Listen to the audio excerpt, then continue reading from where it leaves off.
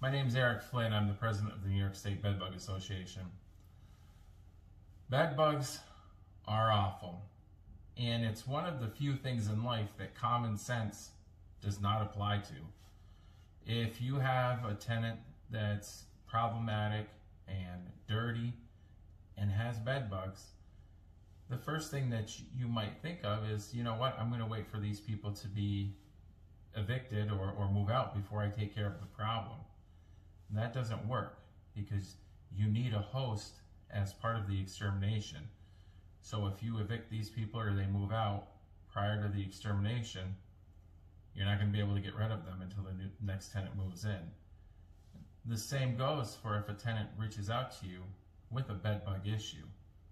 The first thing that you want to do is examine that tenant's apartment and examine the apartments that surround it. You could have a number of situations, including it's not a big deal. It could, one, not be a bed bug. A lot of times tenants will base uh, bites as their reasoning that they have bed bugs, and that's simply not the case. Or they may have found one bed bug.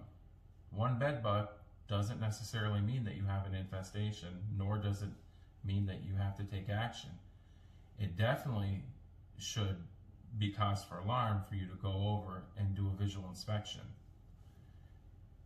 Things that you're going to look for are, droppings, casings, and bed bugs. Bed bugs might be a little harder to find, but the, the droppings and the casings, they're relatively easy to find if you're looking. Um, if you just look online, um, you find a, a, number of resources as to uh, where to look. If you have any questions, you can reach out to us and we can walk you through an inspection. I'd caution you with having an actual inspection done. There's a lot of good exterminators and there's a lot of bad exterminators, and sometimes exterminators will scare people into doing an extermination when it's really not necessary. Um, so you really should inspect yourself and see what you can find. If you can't find any evidence, I would just monitor the situation. You might not have to do anything. Um, but not taking action is a problem, regardless of municipal law, um, state codes, it, it, all that doesn't matter. At the end of the day, it's your building and it's your problem. Because if the tenant can't afford an exterminator or won't pay for an extermination, the problem's just going to get worse. And if they start self-treating, it's going to cause it to spread and make the problem worse. It's not going to go away on its own. And eventually, at some point, the tenant's going to move out.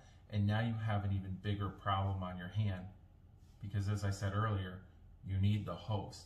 So if the tenant moves out and there's no host, you really have very little chance of a successful extermination until the next tenant moves in.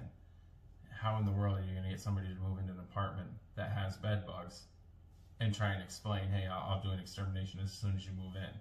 So it's very wise to work with a tenant to have an extermination done in real time when they call if needed. But again, just because they call with bed bugs doesn't mean you have to panic and, and automatically do an extermination.